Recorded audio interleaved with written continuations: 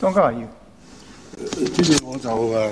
首先想即係由啦回應下涂謹申議員嘅發言。不過主席我就唔想好似即係覺得我同佢對着幹咁，其實唔係嘅。啊咁不過咧就即係有啲有少少唔同嘅睇法。呢、個亦都喺即係審議法案期間，我哋大家都即係討論過。誒頭先陶議員所提出嘅問題咧，即係我自己覺得係係誒未必存在。誒因為佢所提嘅例子嗰、個誒誒誒唔存在嘅原因咧，即係我哋香港咧，如果係普通嘅樓宇買賣咧，係買賣嘅份數，即係唔係買。其實嚴格嚟講，唔係買賣嗰層樓，而買賣嘅份數。而個份數咧，連帶住咧係有權係去使用咧嗰層樓嘅面積。咁所以咧，你如果要以份數嚟計嘅時候咧，即係佢講嗰個情況係唔會出現。咁但係買賣丁公係完全唔同嘅，丁公係冇份數，買賣丁公咧係買嗰個地段同埋嗰個地段上嘅任何嘅建築物。因為我自己住過丁屋啦，我自己知道。咁所以咧就誒、呃、並不存在頭先嘅問題出現。假如佢係起咗兩層，佢隨隨後再喺第三層，佢仍然都係賣嗰個地段，除非佢透過誒、呃、一個分契。一個啲鋪係將個三層咧分咗三個唔同嘅契，咁啊變咗係有份數，咁咧就誒呢、呃呢個情況咧就同頭先所所提出嘅例子唔存在。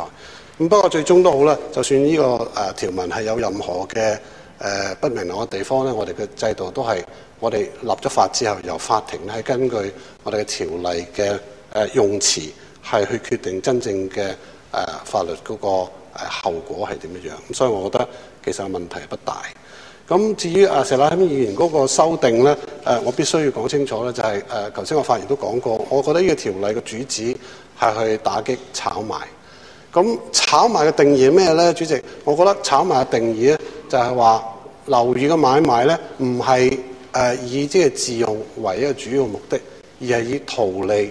為主要嘅目的。咁所以我講緊誒，我哋所針對嘅所有豁免咧。都係誒希望咧，係盡量唔會令到真正嘅用家，用家嘅意思即係唔係話做生意嘅用家，而係即係真係誒、居住呢啲樓宇嘅消費者，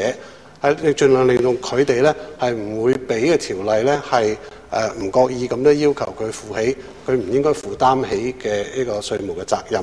咁所以咧就誒喺咁嘅前提之下咧，任何係商業上可以圖利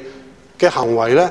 其實我覺得如果要畫條線嘅話咧，佢個分界咧就係在於即係接近炒賣，唔係接近自用。咁石禮謙議員所提出嗰兩個修訂咧，其實都係便利呢個地產商嘅運作。